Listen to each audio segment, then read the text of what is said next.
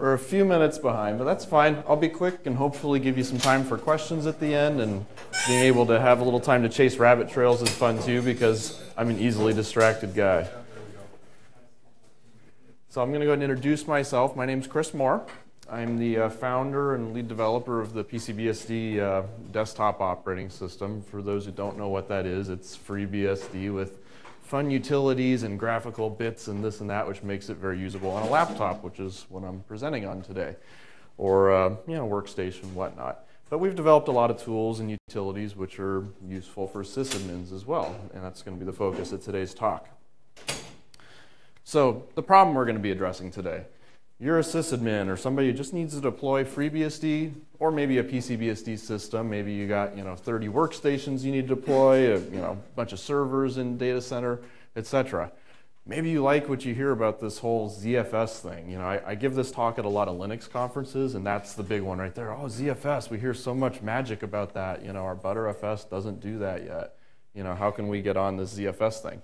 Now, uh, just right up front, I'm going to tell you guys, I'm I'm one of the speak, kind of speakers where I don't mind if you interrupt me. So if you have a question, just raise your hand and we can, you know, chase a rabbit trail or whatever if you want to go into a little more depth on something you see on the slides. If it's something I'm going to cover later, I'll tell you and we'll, we'll get onto that a little later. But uh, the slides are usually pretty simplistic, so if you want to go into detail, just let me know. But uh, right now, there's currently two ways to do this if you're going to deploy a bunch of systems. Solution number one is write your own installation scripts, configure all the network booting by hand, and then you can maintain it forever. A lot of fun. You know, when you want to consider this, maybe you have a very unique installation. Maybe you have some off-the-wall file system layout you just have to do in a very particular way. Or you're just a FreeBSD god and you're like, oh, I'm just going to go edit gpart and do this and that and set up my partitions the way I want. Well, in which case, congratulations, but this talk may be for the rest of the people you know, when not to consider that if manual disk partitioning just isn't your thing, or you work for a living and have other things you want to get done during your day. So solution number two we're going to be looking at today is using our, our newly developed utility, the PC Thin Client, which is included with PCBSD and uh, TrueOS. For those who don't know, TrueOS is just the PCBSD server edition. It's FreeBSD with extra utilities like this in it. So if you grab TrueOS 9.1, it's FreeBSD 9.1 release with just some extra commands available for jail management and, uh, and utilities like this. You know, when you want to consider this is you really don't enjoy disk partitioning as I don't, and you want to have a weekend because, you know, maintaining your own scripts and finding out they don't work Friday right before you got to leave really sucks.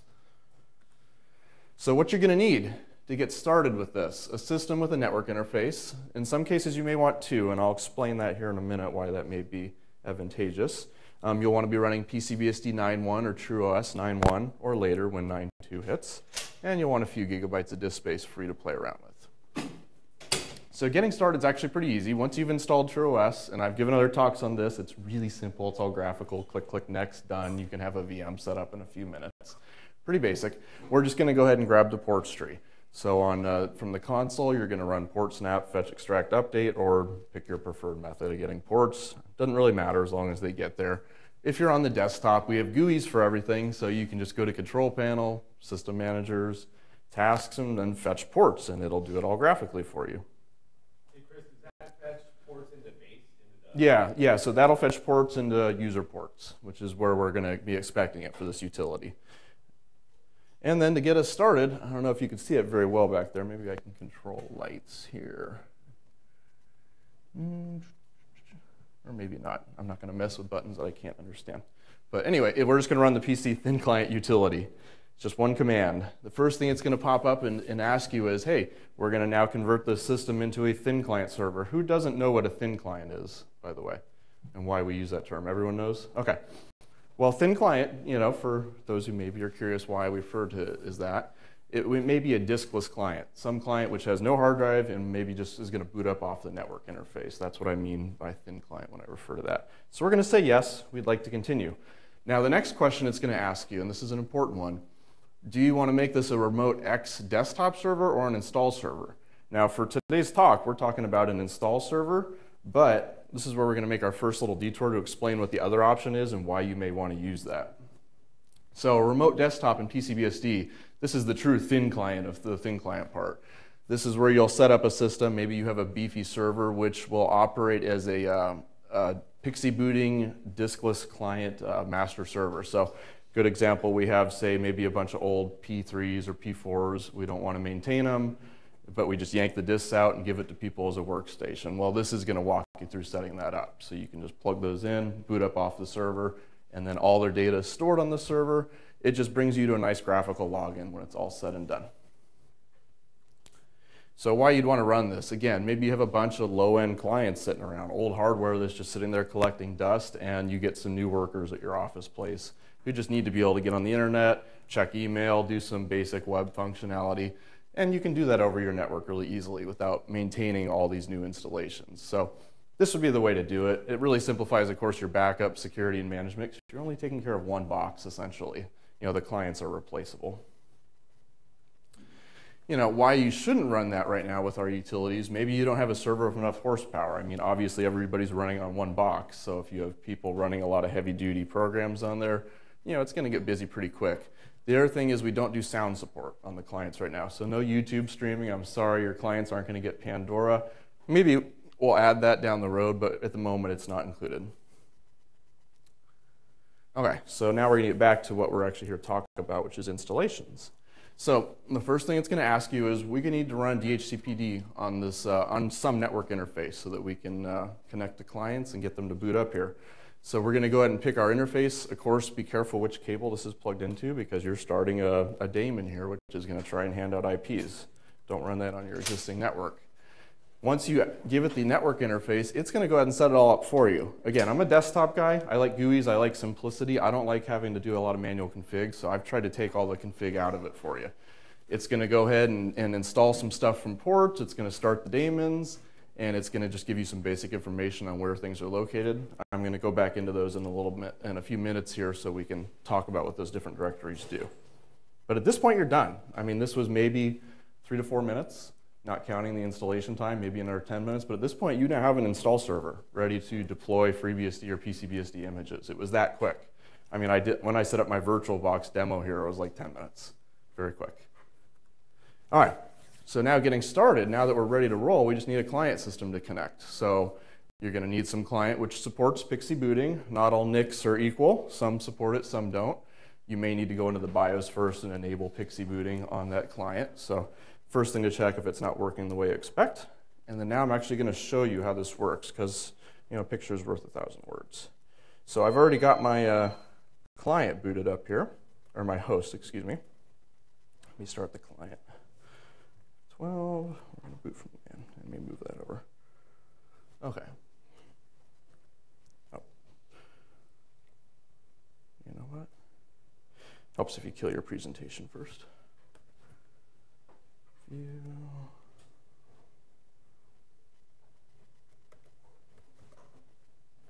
There we go. Okay.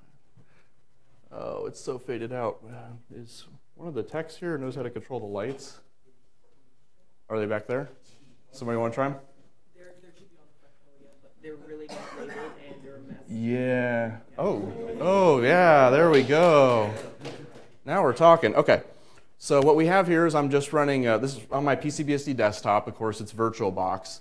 What I've done is I have two VMs running here. I have my host, yay, that's not really the interesting part. This is the client we're looking at here. I've just booted it up. We'll assume for the purposes of this demonstration, it's just got a brand new disk we're ready to go ahead and do an installation on. Now we've written some little dialogue-based menus. Not really fancy, you know, we're just here to do a quick install and be done with it. But the other option uh, in addition to installation is we also provide you an emergency shell. So this can be a useful way if you have a system something goes wrong on, you just need to really quickly boot up and don't want to go hunt down some media or whatever. You can plop it in here, drop to the shell, and do what you need to do. Yes? Yeah, this booted up off PXE. There was no disk or media inserted into the drives. So that all came up off the LAN. And it was all pre-configured for you. You didn't see me talking about setting up IP addresses and configuring DHCPD or anything like that. I mean, unless I mentioned it earlier, right? That was all hidden. Well, the, the utility took care of all that for you. I mean, all you care about is getting systems installed, not the nitty gritty of figuring out what IP range to use, blah, blah. But anyway, here we are. I mean, again, 10 minutes into it, we're now ready to do an installation. So what's going to happen is you choose to install, and it's going to provide a couple example scripts for doing an installation on the system. This is where we're going to go after I do the demonstration, showing you how we build these scripts, what they can do, some of the features and power of, of using them. This is using the uh, PC sysinstall backend. Is anyone familiar or not familiar with that?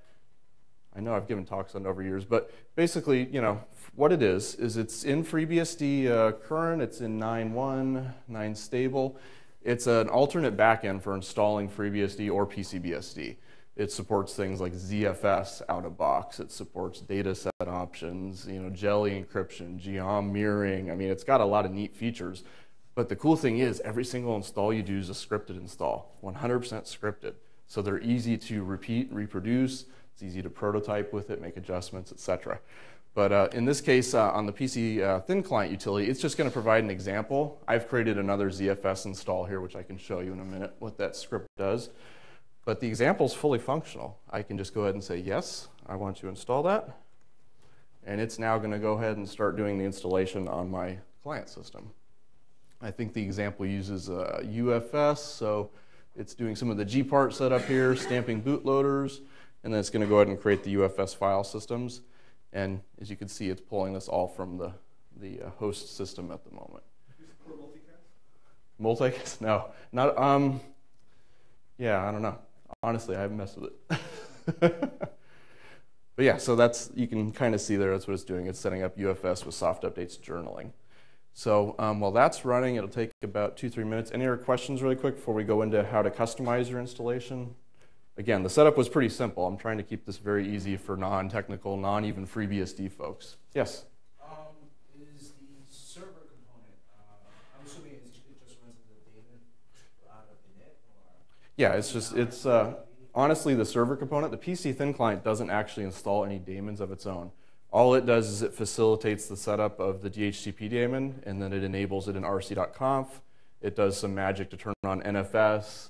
Um, you know, it just turns on the hooks in etc.rc.conf. Say you were following a wiki page, it would come out with something very similar to that. Well, well, my question was, Hmm? how easy is it to, uh, to start and stop the server? Say, Oh. I didn't want to leave this running all the time. Sure, it would just be as simple as running user local etcrc.d uh, inet uh, isc I, uh, dhcpd stop, you know, or just you know removing the entry in rc.conf and reboot. But uh, here we go. So the installation is just about finished. I just did a FreeBSD 9.1 install to my client, and yes, I have all the debug symbols. Speaking of which, last week when I was building ISOs for this show, I'm like, why is my DVD too big to fit on a DVD? And I was like, oh, the debugging's on. Oh, that sucks. Rebuild. Okay, so there we go. That was it.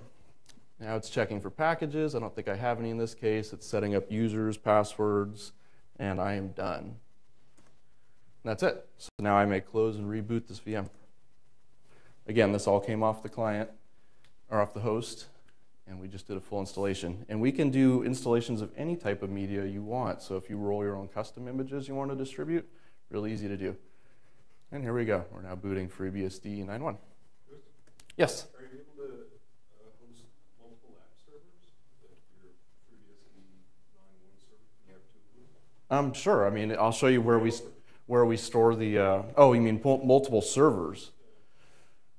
Probably some trickery into DHCPD. Actually, I'd ask, like, Josh Paetzel, is that possible to have it point to two, like PXE booting? Sure, You do? probably have to hardwire MAC addresses down, Okay. point them to the right thing.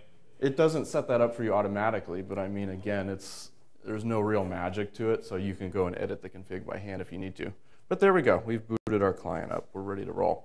But that's not really the interesting part. The interesting part is seeing what kind of installations we can do with all this. Let me show you here.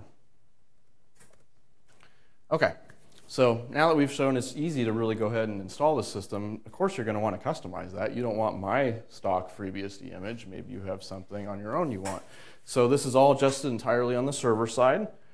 There's going to be a couple key directories you're going to want to take note of. So the first one is uh, the home thin client install scripts. That's where your PC sysinstall scripted installation config files are going to live. And then we have a directory we create automatically called install archives. That's where your TBZ files, maybe your dist files are live. You can organize these any way you want by hand, and I'll show you how we do that. When the client boots up, it just mounts them under slash install scripts and slash install archives. That's where they are on the client end. So the examples provided, it does do a UFS install, but the first thing most people are going to be doing is going, oh, I want to switch to ZFS. How hard is that to do in a PC sys install config? It's actually not that hard at all. So this will be the example provided in our, our shipped script. So you want to switch that to ZFS. It's as simple as changing it to this, one line. All we're doing is saying, okay, my new partition is ZFS. I'm saying zero for the size, which use the whole size of the disk, or partition and then a bunch of data sets that I want to create. That can get pretty complex. You're able to put flags for those data sets on that line and everything, but for the purpose of the, the example I'm showing here, I kept it pretty, pretty straight up simple. But I didn't create a swap in this example, but if you wanted to, you'd just throw a swap line back in, allocate some space for swap. All right, but say you want to install from your own installation archive. Say you've rolled your own custom FreeBSD with some additional patches. Again, in the PC sys install script, this is actually pretty easy to do. So in our example, we're just extracting a static tarball. That's all we're doing, just one big fat archive. Well, in your case, you can come in here and say, okay, it's still in the same directory, and I've put my own FreeBSD release tarball in there, and the package type is set to tar. We support a number of different formats for that, and I'm going to show you a couple of those here in a minute. But uh, user management, again, very simple. So say I need to set up users on my system. This looks very similar to sysinstall if you've ever done sysinstall uh, scripted installations. I tried to keep it that way so it was uh, not a huge learning curve. But we're going to say, here's our root password. I want to create a user. You can have as many blocks of these as you want. So if you need to put 30 users on a system, you can just, bam, just script them all in. And the PC sysinstall wizard will add them for you. So advanced stuff would be, say we want to run commands now. This is where it's kind of cool. Say you need to customize your images that you're uh, shipping. So PC sysinstall supports a couple different methods for running commands. The first one will be running something with the run command directive. This is actually executed inside the chrooted environment of the installed system. So say your image has some initialization script that you're shipping, and you need to run that one time before you boot the system you can easily throw that in a PC sysinstall and say run that in the chroot, and it'll remember where it needs to go to do that. But say you need to run something outside the chroot, we can also run external commands. So when we do PC uh, BSD installs, sometimes we have to mount devfs to do things inside the, the installed system. And we expose some variables like fsmnt, which tells us where it's currently mounted. Any questions on that so far? Okay. So packages, this gets really fun because now we have two package systems, right? We made it really simple to use. So in PC, in your config file, you're just going to say, I want to install packages, and you can just give the short names if you'd like. It'll go ahead and find those, pull them from your package repository, and install them. Um, the only thing with doing the short names is sometimes they're not what you expect, so a little trial and error may be necessary in that case, or check Freshports, which is a great website. Package NG support just got added recently though. This is what we're doing with all our rolling release stuff.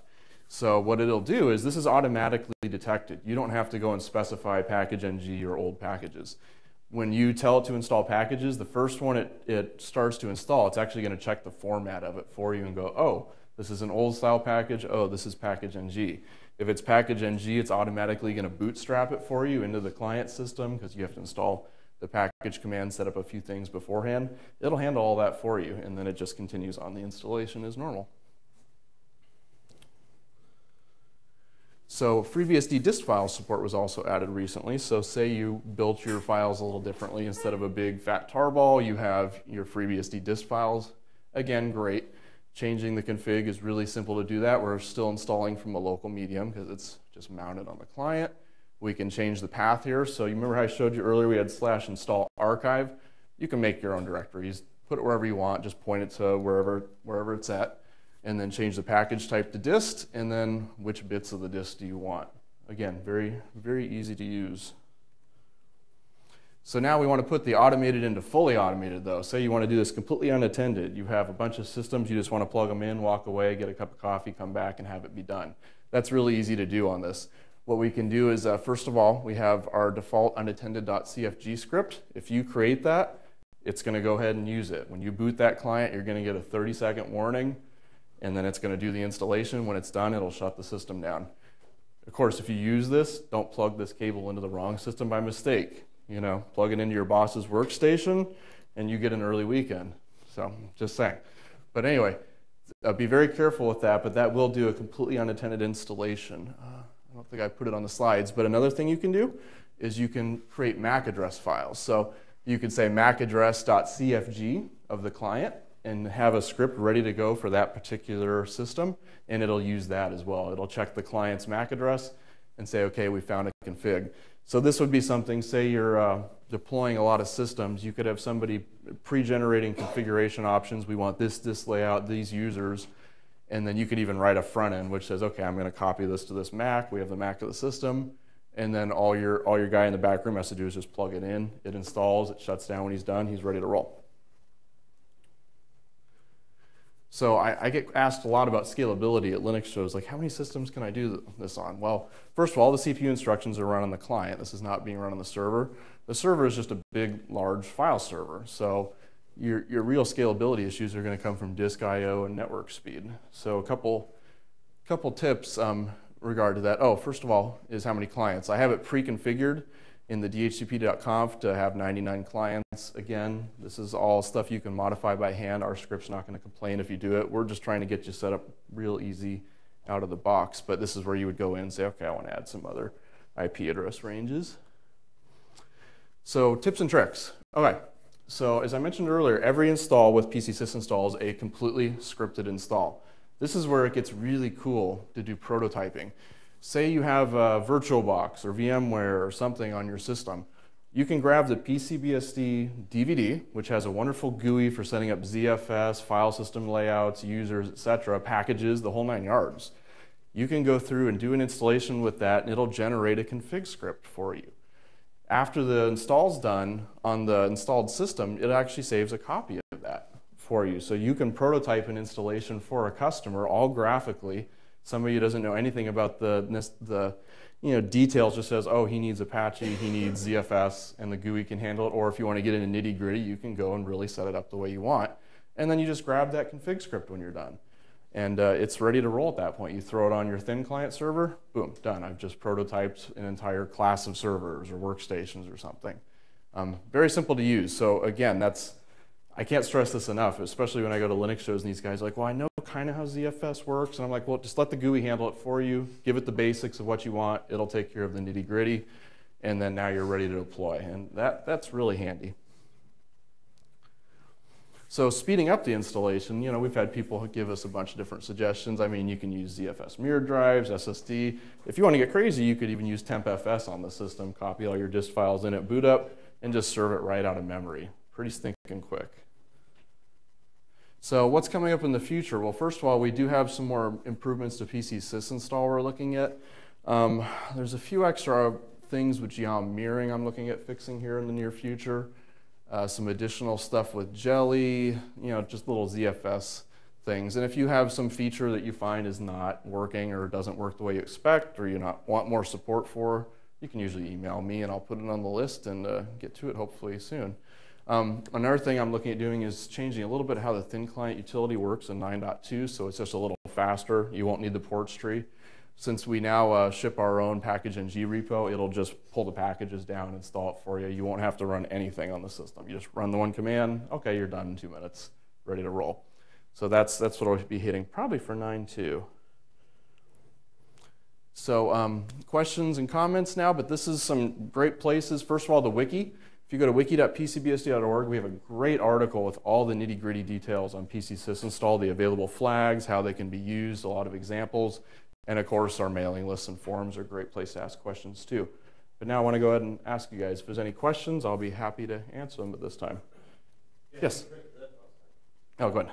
Uh, the scripts that you're showing are largely wrapped around doing FreeBSD installs based on FreeBSD media or mm -hmm. um, is there a mechanism in there to just do uh, DD cloning or, or NTFS uh, clone? Uh, Not NTFS, yeah. um, you could yeah. Which works. And does it could do DD. But, but the DHCP management and all that other stuff, this looks perfect. Yeah. So there is an option in PC sysinstall just to give it an image and say splat that on a disk with DD. So as long as you have the right image ready to roll, yeah, you could do that. Yeah. Yeah, Matt. Um, so, so if I have several PC sysinstall configs, you know, for different options. Yeah. Um, do they show up in that lib dialog in, in the beginning? Do you just scan the directory? We scan the directory for them, yeah. So you'll just name them something like this is Brett's workstation or whatever, and, and it goes. So yeah. Any other questions? Yes. Is there anything checking like the, the integrity of your, your install set? Uh, like it goes through and it runs a basic check of the config file for sanity first to make sure that it looks good before it proceeds, and then hopefully we catch the major problems before we start. Like, like for, for instance, uh, we've got a bunch of kiosks running Mhm. over satellite connections. uh, Okay. And can be sketchy connections. Sure, sure. So like, is there anything checking to make sure that we actually have a real image before, um, Well, it's going to go ahead and see if it, can, if it can find the file. As long as the file's there, it won't know till it starts using tar to read from it, I suppose. But yeah, that may be the only hiccup. you're not double checking that you actually have a real, you know, the actual file you sent over? No, we're just checking to see it exists. As long as it exists, it then we'll assume it's still there when it goes to do the install a minute or two later and read from it. Yeah, Will. And I just was trying to get the sense of the thin client install. That, that requires that the thin client itself write to disk. Okay, not, you can't just sort of boot wholly Oh, on the server, you mean, right? Well, I'm thinking about, like, imagine if I wanted to teach FreeBSD to a bunch of students that have Sure. an OS that didn't want to go away.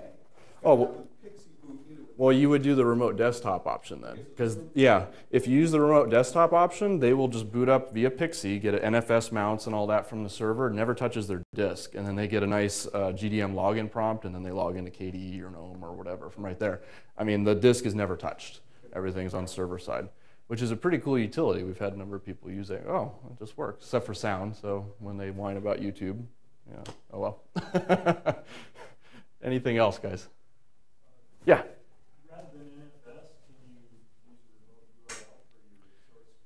Oh, yes, yes. Um, so the PC sysinstall can fetch it from FTP, HTTP, pretty much anything fetch supports. You can give it uh, you know, pretty much anything that, uh, again, fetch does, local URL. It could even mount a CD. If you have a CD in the drive, it'll do that for you. It's just a flag to say, here's my media location. So you could set up a website with a bunch of pre-configured mm-hmm. could retrieve Yeah. Yeah, I should put that in the slides actually for next for next time I give this talk. But yeah, that's something you could do. You could have a web URL somewhere that's on your local intranet or out on the net and just say here it is. That's actually how we do some FreeBSD installs. We can go pull something off of FTP archive and say, okay, grab that image and install it. And as long as your net connection stays up, it'll it'll go through and do it. Yeah, Alfred. Can can you give us a, um, so we have like a, a FreeNAS Lite server, and we, we wanna do it in our office, and I'm wondering, can you do that plugin for Is a plugin like do this portion? Sure, why not? It's, we can run we run PC sysinstall I think on FreeNAS already, or we have it there. So all we do is copy the script over, do a little magic, and it works. Yeah, that would actually be really cool. Making FreeNAS a deployment server. Yeah. Yeah, that would actually be really cool. Talk to me about that afterwards. It'd be awesome. Any other questions, guys? Okay, well, thank you very much. I appreciate it.